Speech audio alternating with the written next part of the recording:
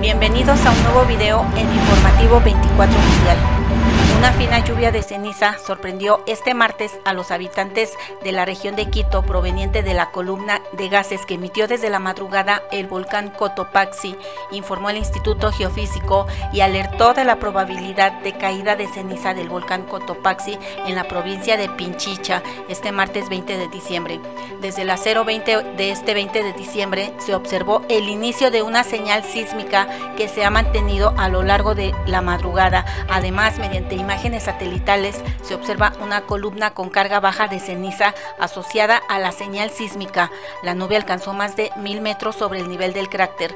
Las operaciones en el Aeropuerto Internacional Mariscal Sucre de Quito se mantienen abiertas.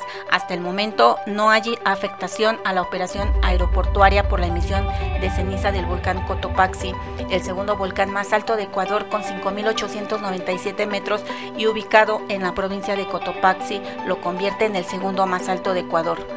El volcán es considerado uno de los volcanes más peligrosos del mundo por la frecuencia de sus erupciones, su estilo de erupción, relieve, cobertura glaciar y por la cantidad de población en riesgo.